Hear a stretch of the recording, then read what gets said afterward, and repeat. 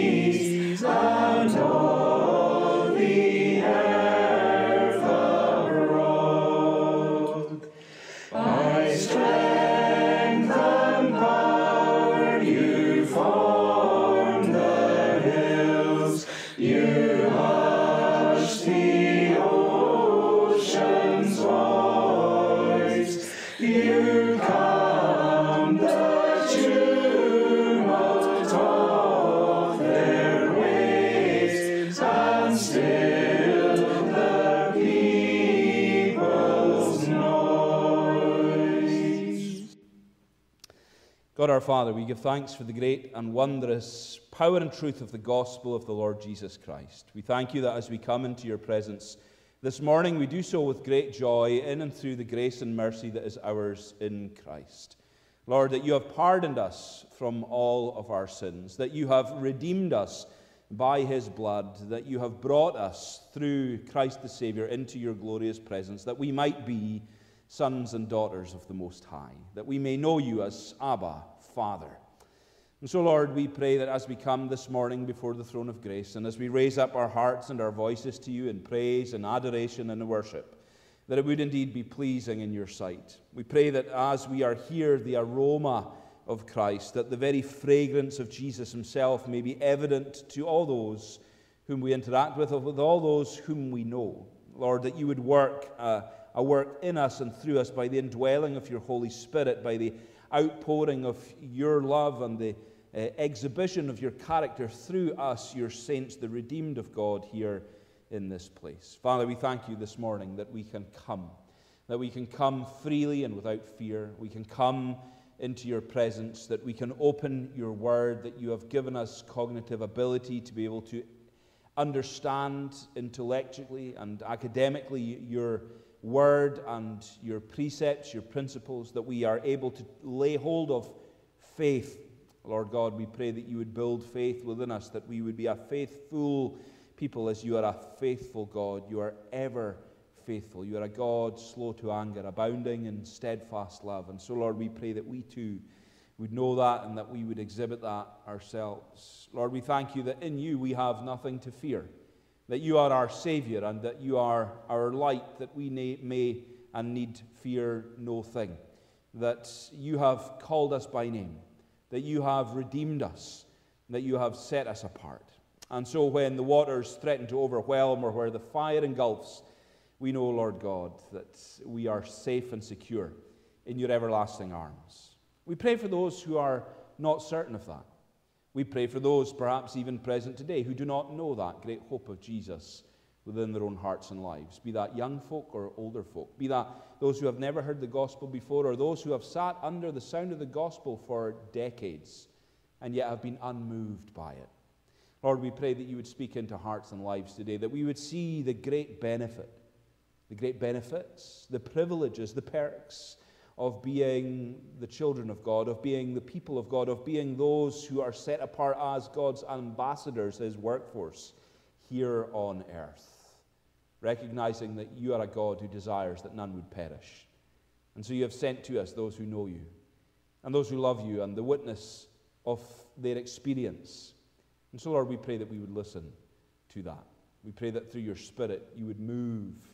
We thank you that you are a God who continues to transform lives. You are a God who is able to do the unimaginable. You are a, the God who is not bound by the things we are bound by, but that you transcend these things. You are the God who is high and who is lifted up, King of kings and Lord of lords. Father, we confess to you our waywardness and our weakness. We confess to you the way in which we are enticed and tempted by the things that the world would espouse to be good and right and true, which we know to be wrong. Lord, we pray that you would help us to be faithful to you and to the things of your word and your will, and that in doing so we might know the blessing, the continued blessing of a God who is good. We pray for our nation in these days. We pray for the nations of the world in these days where there is so much turmoil, where there is so much unrest, politically and otherwise. We pray for the elections forthcoming in our own nation. Lord, we pray for men and women of integrity, of transparency, of diligence, uh, to be raised up, to be in positions of power and authority, and those who you have elected, who you have put in these places for a purpose and for a reason, Lord. We pray that you would use them uh, for your ends, for your purposes. We pray for Daniel's to be raised up, those who possess an excellent spirit within them, those who would be distinguished from their countrymen through their excellent spirit, working hard for you. We thank you, Lord, that you have placed many of us into the workplace, and the workplace is the arena by which we live out our faith. The workplace is the opportunity that you have given to us to demonstrate our faith and how we respond in the way in which we speak, in the way in which we interact with those not only whom we serve through our work, but those who we work alongside. Lord, we recognize that so much of our lives are devoted to work. And so, Lord, we pray that you would give us a theology of work as we delight in the work that you have given us and in the works that you have set apart for us to do. We pray that we would do these things gladly and that we would do these things showing, exhibiting, demonstrating the faith that we have and the salvation that is ours in Christ Jesus. Lord, we pray that you would redeem not just individuals, not just families and communities, but workplaces, uh, churches. We pray for a renewal and a restoration of all that is good. And so we pray that you would raise up men and women to facilitate and to enable that according to your will. We pray this morning for those who are unwell, those who are faced with difficulty within their own lives and experiences, those whose Problems are beyond their own capacity to cope with or to deal with. And Lord, we thank you that you are sufficient for all things and your grace sufficient for every circumstance. And so we commend to your gracious loving care those who are in need of that. Lord, we remember the many who are away on holiday at this time, uh, taking advantage of time off from school, and those who are with us here today on holiday, uh, uh, with us from different places. Lord, we thank you that we are one in Christ Jesus that you have united us through the blood of Christ. And we pray for rest, for rejuvenation, for relaxation, and for renewal for all of those who are enjoying a time of holiday at the moment. We pray these things in Jesus' name. Amen. We have been studying John's Gospel for some time now, and we're in one of the, the great chapters uh, of John's Gospel. They're all great, but this is perhaps one of the best known, uh, most quoted, especially uh, uh in funerals, as it talks about the peace uh, of Jesus. But there is so much more that we can learn from this chapter than just about uh, God's peace.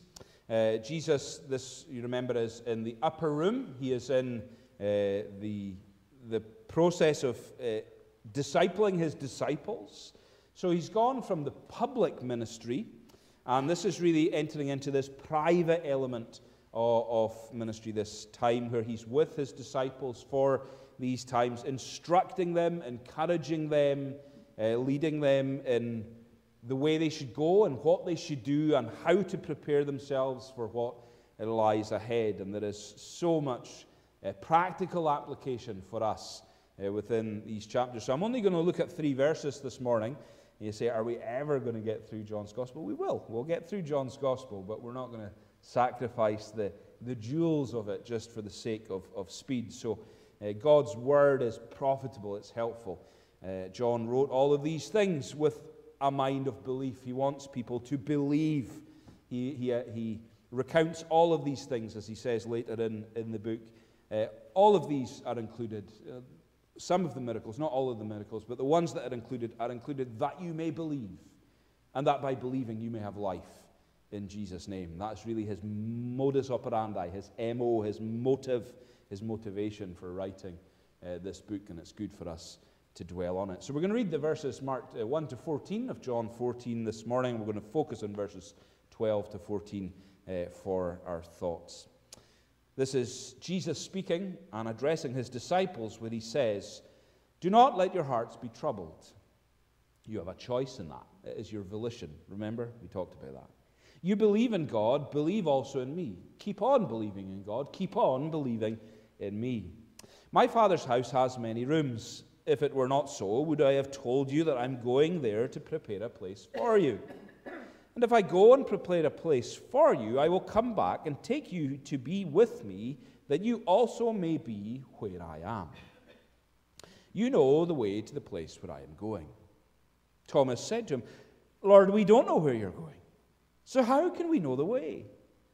Jesus answered, I am the way, and the truth, and the life. No one comes to the Father except through me. If you really know me, you will know my Father as well. From now on, you do know him and have seen him. Philip said, Lord, show us the Father, and that will be enough for us. Jesus answered, Don't you know me, Philip? Even after I have been among you such a long time. Anyone who has seen me has seen the Father. How can you say, Show us the Father? Don't you believe that I am in the Father and that the Father is in me? The words I say to you, I do not speak on my own authority. Rather, it is the Father living in me who is doing his work. Believe me when I say that I am in the Father and the Father is in me, or at least believe on the evidence of the works themselves. Very truly, I tell you, whoever believes in me will do the works I have been doing, and they will do even greater things than these, because I am going to the Father. And I will do whatever you ask in my name, so that the Father may be glorified in the Son.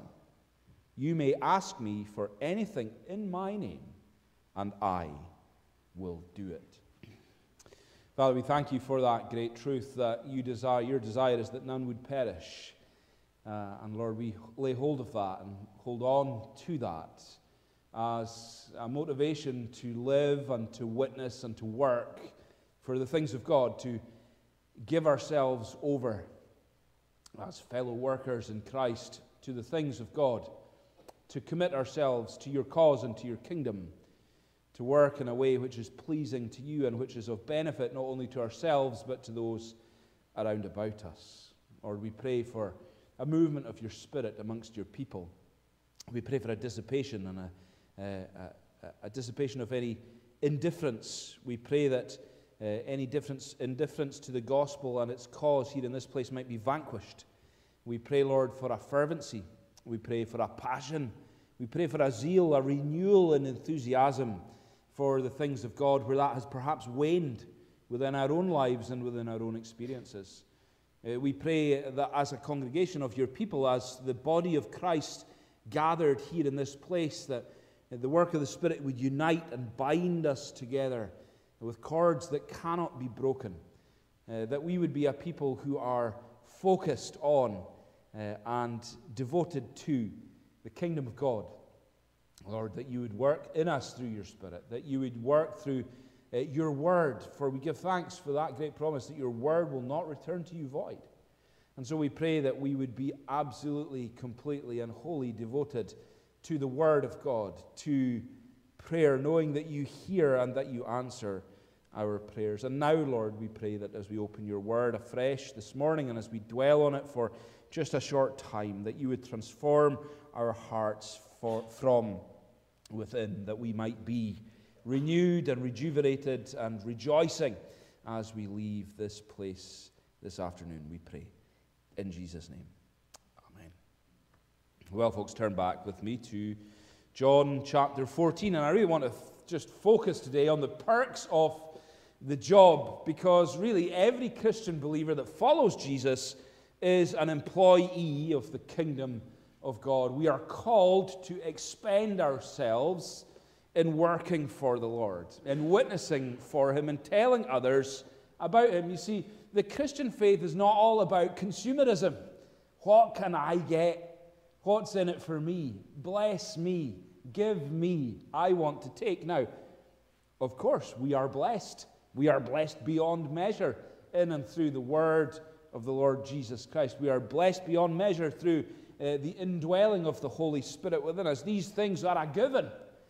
But as the Lord's people, as those who have received the salvation and the great gift of salvation through Christ Jesus, it is our role, it is our only role, arguably, to work for the Lord here in the time that we have been allotted, the time that we have been given, the work that has been set apart for us to do. Because the Word of God is very clear. We are fellow workers together with Him. That's what Paul reminds us in Corinthians uh, in 2 Corinthians 6. We are fellow workers, fellow laborers in the gospel with Him. And if you think about it, we work for the best company, the best corporation in the world.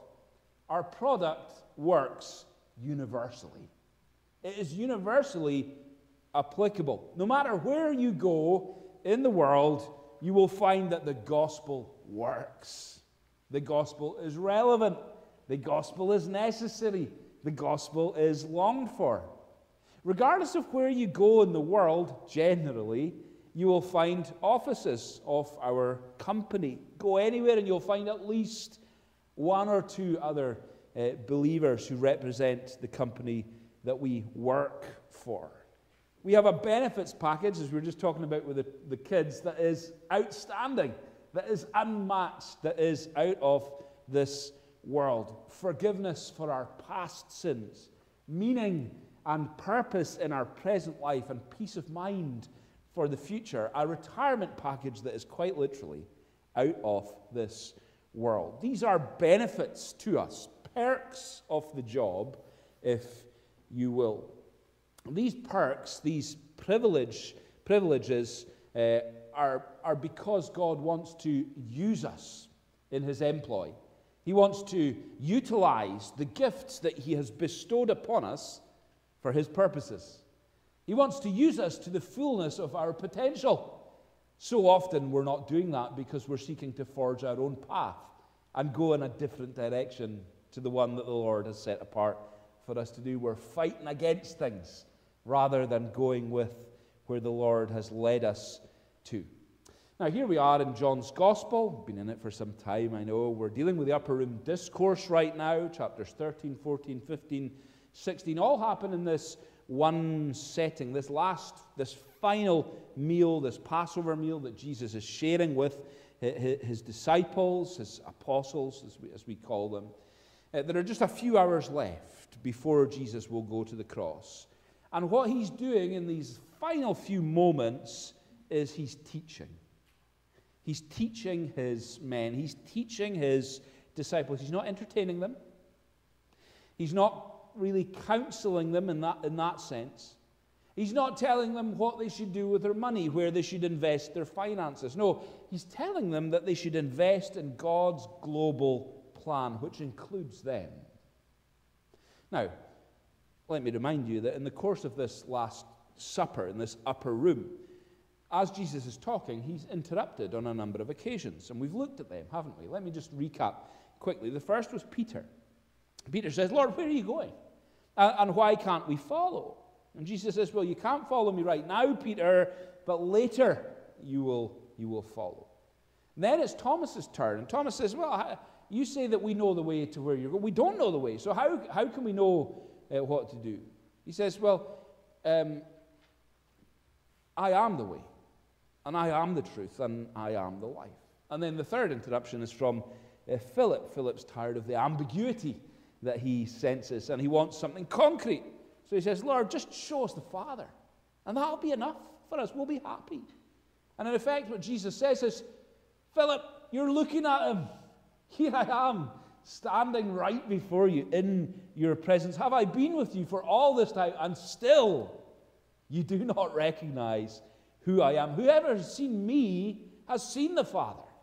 I am the exact representation we know from uh, elsewhere in uh, Scripture. I am in such intimate contact with the Heavenly Father that if you look at me, you see Him.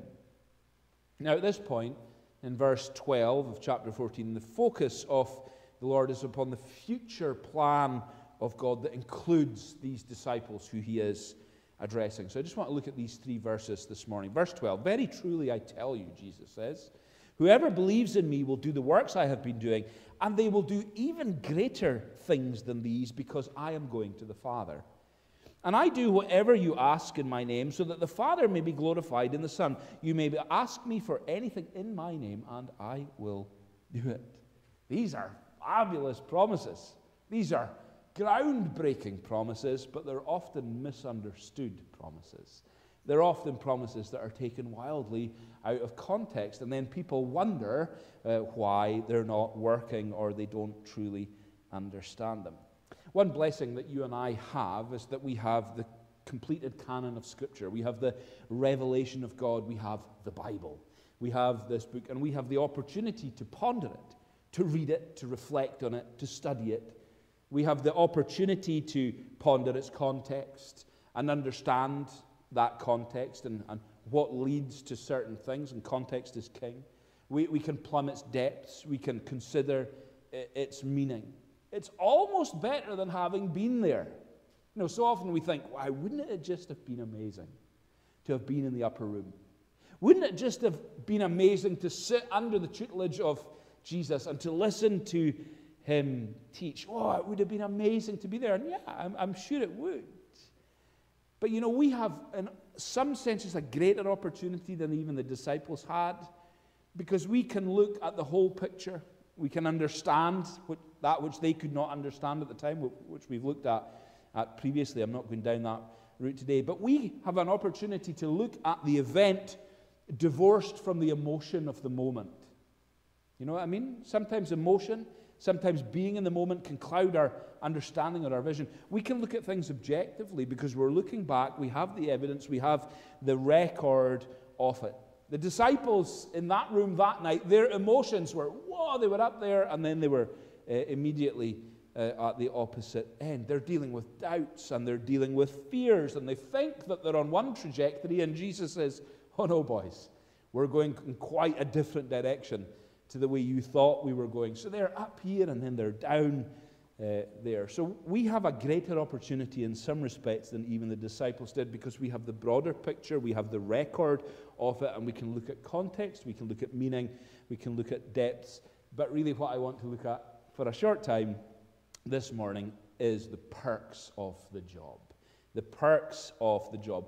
The privileges that are ours for working for God, being part of His plan being part of his workforce, being in his employment. The first perk is the perk of purpose. The perk of purpose. The great number one privilege we can say here, first of all, is that we have the perk of purpose. Very truly, I tell you, whoever believes in me. Now, Jesus uses a term there that's not unfamiliar. We've heard it before. Verily, verily. Truly, truly, most assuredly in the Greek, Amen, Amen. This is, this is a note to the reader, it's a note to his audience that what he's going to say is of significance. Stop, listen, take heed, take note. Most assuredly, very, very, verily, verily, very truly, I tell you. In other words, what I'm going to say, listen to it. It's worth listening to. Very truly, I tell you, whoever believes in me will do the works I have been doing, and they will do even greater works than these because I am going to the Father. Jesus speaks here of works. The Greek word is erga, that's where we get the word energy from. It means activity, it means energy expounded. That's the general etymology of the word. In other words, there is some divine activity that God wants you and I to expend our energy on. He wants us to have a purpose. There is a purpose in living for Him, in working uh, for Him. And that is one of the greatest struggles that people wrestle with in their lives, isn't it? What is my purpose in life? Maybe you're wrestling with that right now in your own experience. Why am I here? What is it that I'm meant to be doing? What is the plan? What is my purpose for the rest of the time that I have on earth? And you see, if you don't have an answer to that, it can be very unsettling. It can be very confusing. It can be disorientating, even. It's like taking a Amazonian tribesman and dumping them in Piccadilly Circus and saying, get on with it. What? The guy's never seen vehicles before. He's never seen concrete before. He's never seen a multitude of people like that before. He doesn't understand English. He doesn't know what traffic or traffic laws are. He's never seen uh, a car. He doesn't understand that in the culture he's now in that you buy your food, you don't kill it. He doesn't know what to do. He doesn't know where to go. He doesn't know what to do. It would be cruel, wouldn't it? To dump somebody into a place like that. Some of us would say we wouldn't like to be dumped into Trafalgar Square or anywhere like it. Well, so too is it to live in God's universe without understanding God, His plan, or His purpose, and how we fit into that. If we live outside of the Lord, outside of His plan, outside of His purpose, outside of His principles, of course we are always going to struggle because it's not what we were designed for. Henry David Thoreau once said most men and women lead lives of quiet desperation. You know why? Because they don't know what their purpose is, they don't know where their identity is. For the Christian believer, our identity and our purpose is found in Jesus Christ.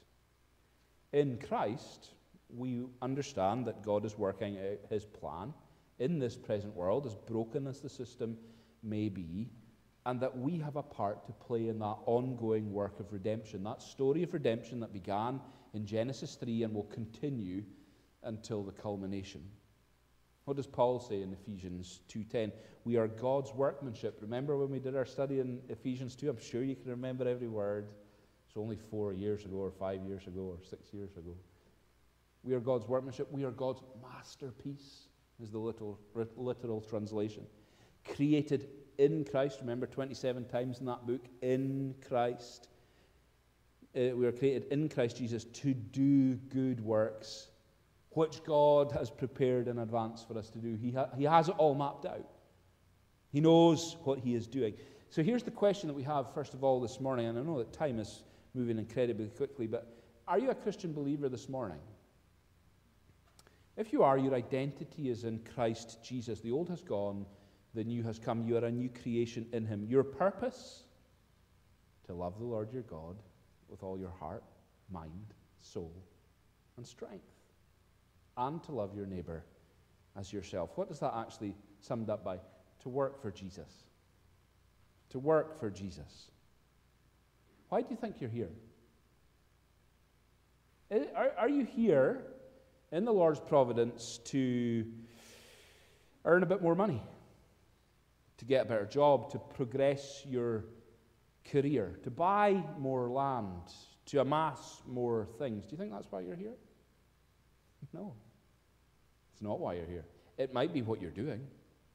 It might be what you've fallen into because that's what the world says, or because ultimately you're erroneously thinking that by doing these things you're going to give yourself or gain yourself more purpose, that your identity is actually in these things. And what that tells us is that they're idols and they're actually negative because you've enthroned them in your life, not the Lord. No, what are you to do? You're here if you're a Christian believer. You profess Christ this morning, you are his ambassador. What is an ambassador?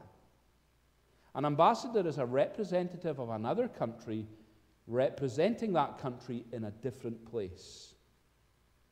We are citizens of heaven if we are in Christ. And therefore, we are ambassadors in a foreign country here on earth to represent heaven, to represent the Lord. Why? Because the Lord's desire is that none would perish. You want to reach the top in your chosen profession? Hey, that's a, that's a, noble, a noble task. It's, it's good to have zeal and purpose. Are you doing that at the expense of your Christian witness? Are you doing that at the expense of serving your church? You want to earn more money? Hey, it's good, but what's the reason for that? To amass more, to build it all up, to keep it to yourself? Or to use it for the Lord's purposes, to share? You see what I mean? Our job is to fulfill the work that the Lord has set out before us. That is our purpose if we are a Christian believer. All of that has to be done through the work and the witness of the church, yes, but even more so in our individual lives as we work in the places that the Lord has put us, in the roles that He has placed us in, and amongst the people that He has set us.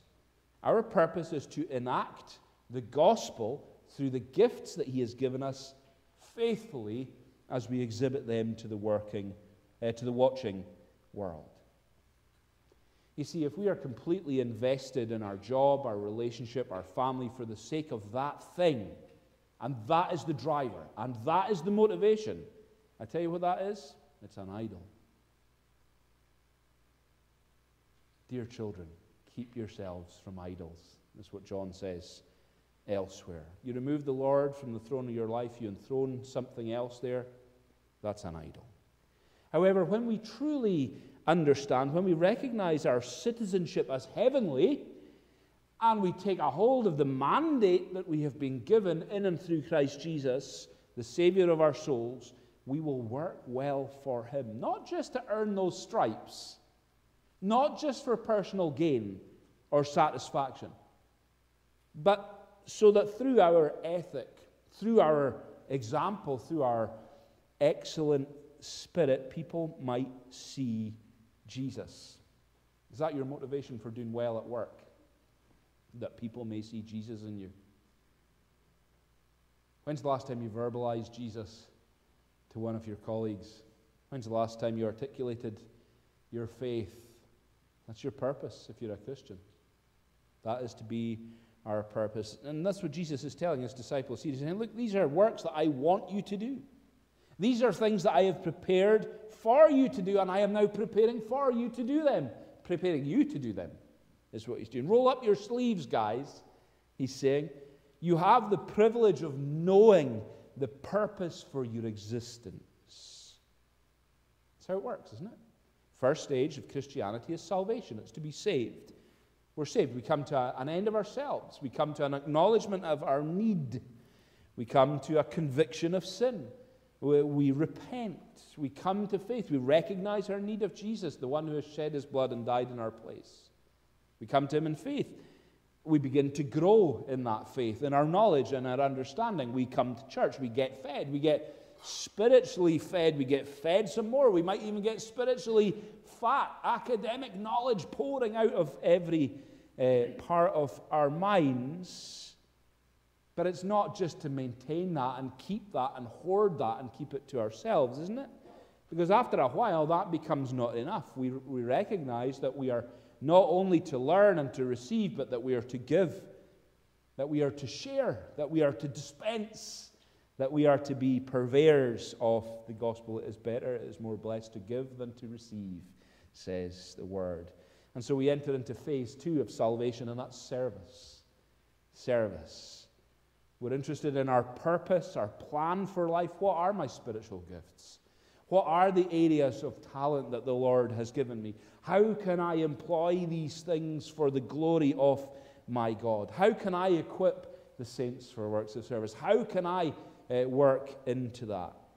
How can I be, like James said, a doer of the word, not merely a hearer? So, the Lord is growing and maturing these disciples by showing them their first perk, their first privilege for working for God, and that is knowing their purpose. And that is our purpose, to make Him known. The second perk is the perk of promotion, uh, of proportion. The second privilege is the privilege of proportion. Very truly, I tell you, whoever believes in me will do the works I have been doing, and they will do even greater things than these. What could Jesus possibly mean by that? Greater works than Jesus did? I had a look around uh, in preparation for this. Matthew, Mark, Luke, John, the Synoptic Gospels. There are 40 miracles, roughly, that are recorded there in the Gospels. Real miracles, not things like saying, oh, the miracle of the sunrise. That's not a miracle, that's the natural order of things. When we're talking about miracles, we're talking about raising the dead, walking on water, calming the storm, having power over the elements, turning water into wine, feeding uh, people from just a, a couple of uh, fish and loaves. And yet Jesus says here, they will do even greater things than these. And those are just the recorded works, remember? Jesus did many other miraculous signs in the presence of the disciples, which are not recorded in this book, says John. I've never raised a dead person, have you? I've never walked on the water. That'll be a real miracle. I've prayed for people, and sometimes they've got better, but sometimes they haven't. Sometimes they've died. So, what could Jesus possibly mean by telling his disciples that the works I've been doing, well, you're going to do even greater works than these? We say, whoa, that's a head scratcher, is it not? Let me give you three possibilities very quickly. Number one, maybe Jesus means miraculous physical works that the apostles will do. It's confirmed uh, or, or, confined. It's confined really to just those apostles, those disciples that are in the room with Jesus, that they're going to do the same kind of miracles that Jesus performed. That's interpretation number one. And of course, they did that, didn't they? We know. You, you go to Acts chapter 5 and you read in verse 12 the apostles performed many signs and wonders among the people. Verse 15. As a result, people brought the sick into the streets and laid them on beds and mats so that the crowd, so that at least Peter's shadow might fall on some of them as he passed by. Crowds gathered also from the towns around Jerusalem, bringing in their sick and those tormented in pure spirits, and all of them were healed. So that's a lot of power amongst the apostles, isn't it? Physical, miraculous power manifest through the witness, through the ministry of the disciples. Here we have the disciples replicating, in some senses, the miraculous signs and wonders that Jesus did in his own ministry. However, if we say that it just means these miraculous works, and these miraculous works are just for the apostles, we have a problem. Why, why do we have a problem? Because Jesus doesn't seem to limit it to just the apostles, does he? Very truly, I tell you, whoever, not just of the ones in the room, but whoever Whoever believes in me. Whoever believes in me. So, interpretation number one is it's the apostles that are going to do the same thing as Jesus. There's a problem with that. Number two, when we turn to the book of Acts, yes, the apostles did miracles, but other people did miracles as well. Two deacons come to mind. Stephen was one of them. Philip, not the apostle, but Philip the deacon, is another one who did signs and wonders.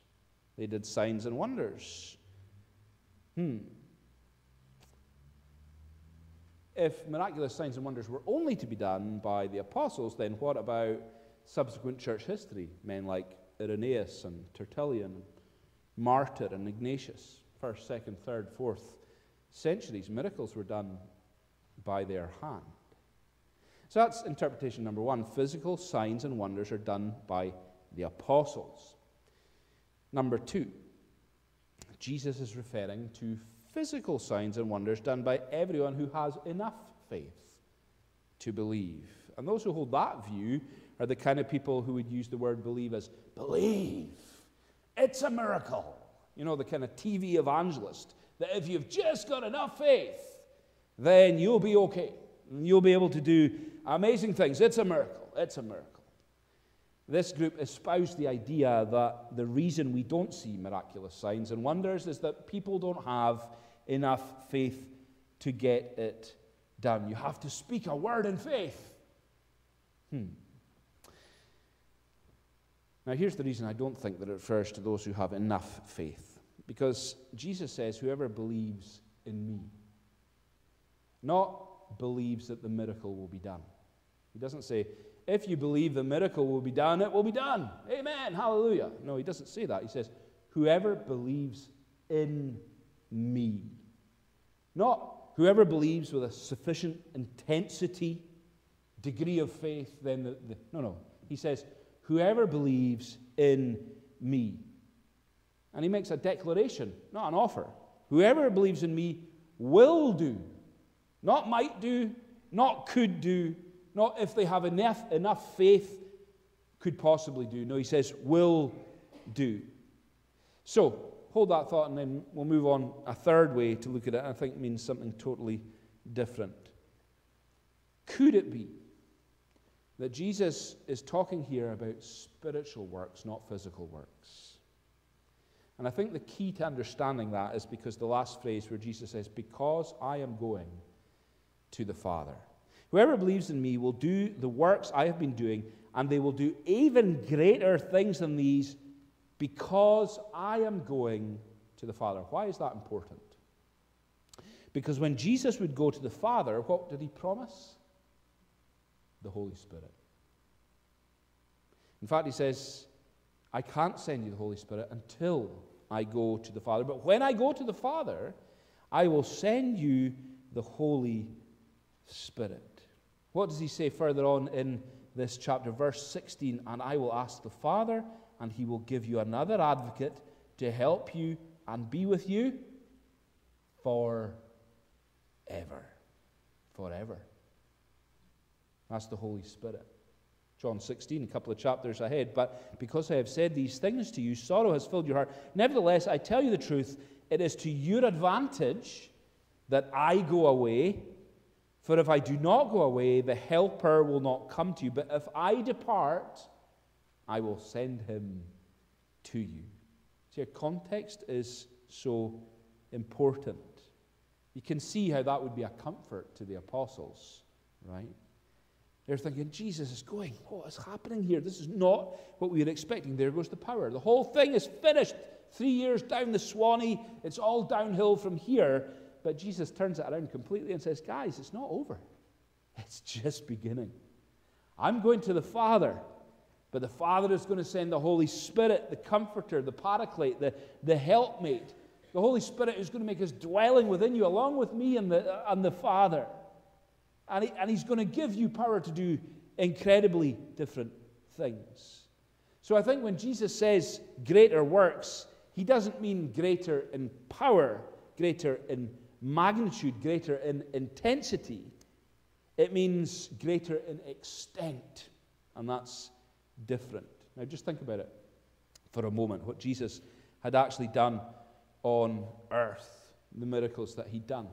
Tended to be the ones and the twos, didn't it? There were exceptions to that, the feeding of the 5,000 or the 25,000, as it may have been. Compare that to, G, to, to Peter on the day of Pentecost. After Jesus had died and been resurrected and ascended to God the Father in heaven, and the Holy Spirit has come, and Peter is preaching on the day of Pentecost, and how many people are saved? 3,000. 3,000 are people. 3,000 people uh, come to faith in a single day. Did that ever happen in Jesus' ministry? No. Many people were fed, but not 3,000. Indeed, many people turned away when Jesus preached. Isn't that the truth? Did Jesus ever take the gospel to Asia Minor, to Europe, to Rome? No, he didn't. But you know, within 30 years of this discussion, the men in this upper room were going to take the gospel to the ends of the earth, Judea and Samaria, and to the ends of the earth. That was the promise, as witnesses. Greater things than these. So the works were quantitatively, not qualitatively, quantitatively greater because Jesus had ascended to God the Father and dispatched his Holy Spirit to dwell in the hearts of uh, the believers. And it was taken out in so many different ways. We're really, really out of time. Two perks, two privileges the perk of purpose, the perk of proportion, the perk, very briefly, of prayer. Verses 13 and 14, Jesus helps the disciples understand how the job is going to get done. You can imagine what it would have been for them to hear this promise. You're sitting in the upper room, and Jesus says, Greater works than these. And you think, Really? How on earth are we going to do that? What resources do we have? We're simple men, and whatever you do and whatever you ask in my name, so that my Father may be glorified in the Son, I will do whatever you ask in my name. You can imagine the panic that's running through the disciples' minds. Jesus is going to go. If he's going to go, where are we going to get the resources? Who's going to lead us? Who's going to do these things? Jesus, up until this point, had fed them. Jesus had helped them get their catch. Jesus, he'd, he'd, he'd even provided money for their taxes. Remember Matthew 17? Go to the lake, throw out your line, take in the fish. The first fish you catch, open its mouth, and you'll find a four drachma coin. Take it to them and pay for your taxes and mine. That'd be pretty good, wouldn't it? Right around April, just go fishing. The first fish that you get, open it up, and you'll find all your taxes for the year. Hey, the HMRC wouldn't be a problem then, would it? No, no problem at all. So he's been providing for them in all of these ways, and now he says he's leaving, but he's saying, Look, I may be going away, guys, but whatever you need, just ask me for it, and I will resource you. I will resource you. That's momentous. Because what it says is the gap. The gap between where Jesus is and where we are is closed the moment we pray. There's no gap. That is life changing. When we understand prayer to be that way, prayer closes the gap, nullifies the void that is between us. There is no gap. When we pray, it closes the gap. That's the promise. If we take nothing away from today other than that, remember that when we pray, it closes the gap between us and the throne room of heaven, where Jesus is seated at the right hand of God the Father. That is an amazing promise. It's not a blank check. It's not pray for whatever you like. Oh, if I could just have a John Deere 697R, that would be great. You know, it's probably not in Jesus' will that I would have that. You know, please could I have a Scania 750? You're never going to get that. That's not what it means.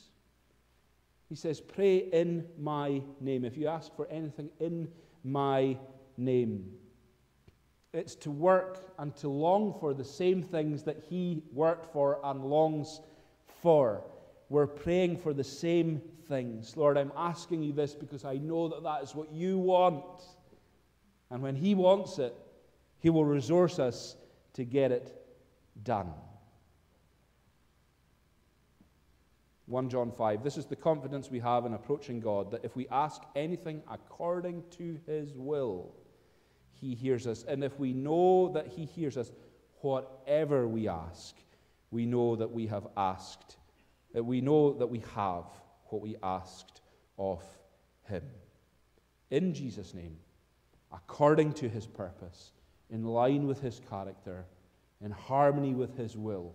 Ask me for anything and I will give it to you. These then are the perks of the workforce of the Lord, in the workforce of God, in the staff team of heaven.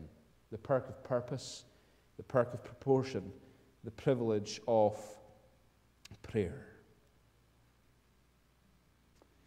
When is the last time that you asked God, that you prayed to God, that you would see greater works? accomplished in your life through your faith in Him. Lord, I want to be a part of your kingdom, your movement. I want you to resource me and direct me. When's the last time you prayed that? Sometimes we haven't because we think, well, the work is just too big. The task is, is too big for me. I don't have time. Jesus said, Go into all the world and preach the gospel. That's just such a big task. Let me just give you a wee thing on that. If you've ever gone to a car garage, you recognize that the car garage is not the manufacturer of the car, they are the distributor of the car. We are distributors, we're not manufacturers. It's not our work to manufacture, it's our job to distribute. The burden isn't on us to make things up. We just to distribute the truth. The truth is already there. We're not the manufacturer, we are just the distributor. The enormity of the task should actually spur us on. It's a big task. We want to rise to a challenge. If it was a mediocre commission, or if it was a small commission, or if it was a, if it was a manageable commission, so what? It is the Great Commission to go to all nations and to make disciples of Jesus. They found that in, in Russia. In its heyday, the Communist Party in Russia, they said that they would call people to an impossible task. That's when they would find the most recruits. People love a challenge. Well, here's our challenge a noble task to rise up to, to share the good news of Jesus, recognizing that great works are done through a combination of smaller parts. You have a V6 engine, you bolt on a couple of turbos, the thing will go. But it's made up of a whole host of smaller, significant components. They may be small, they may be looked at as, well, that's just a solenoid or, or whatever. But without that solenoid, without that glow plug, without that fan, without that belt, the engine won't go. We are all a smaller part of a bigger picture. Great works are accomplished by a combination of smaller parts working together in order that they may fulfill the task that they have been called to. We can't do it all, we won't do it all, but we can do our part. We have great perks the perk of purpose, the perk of proportion, the perk of prayer. And let's do that. Father God, we thank you for your word. We thank you for its power. We thank you for its instruction. We pray that we would be. Uh, encouraged, that we would be inspired to work for you, to do great things in your name and for your kingdom. Lord, give us a vision uh, for the expansion of your kingdom here in Lochbroom and in Coigach. Uh, Lord, we pray for an explosion uh, of faith. We pray for a movement of your Holy Spirit. We pray that you would use the people that you have set apart in this place for your purposes, that we may recognize our purpose, that we may lay hold of the proportion that we have been given and that we may exercise the gift of prayer. We ask in Jesus' name. Amen.